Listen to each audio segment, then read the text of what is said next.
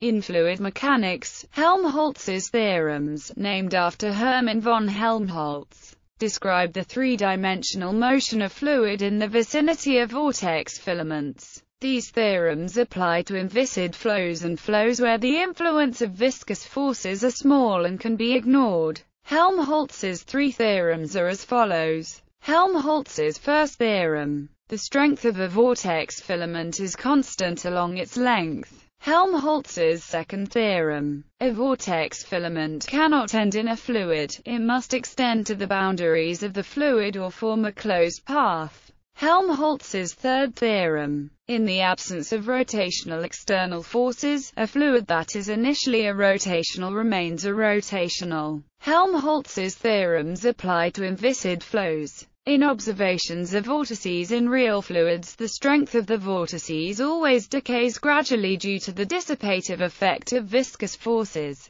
Alternative expressions of the three theorems are as follows. 1. The strength of a vortex tube does not vary with time. 2. Fluid elements lying on a vortex line at some instant continue to lie on that vortex line. More simply, vortex lines move with the fluid. Also vortex lines and tubes must appear as a closed loop, extend to infinity or start, end at solid boundaries. 3. Fluid elements initially free of vorticity remain free of vorticity. Helmholtz's theorems have application in understanding generation of lift on an airfoil starting vortex horseshoe vortex wingtip vortices. Helmholtz's theorems are now generally proven with reference to Kelvin's circulation theorem. However, the Helmholtz's theorems were published in 1858, nine years before the 1867 publication of Kelvin's theorem. There was much communication between the two men on the subject of vortex lines, with many references to the application of their theorems to the study of smoke rings.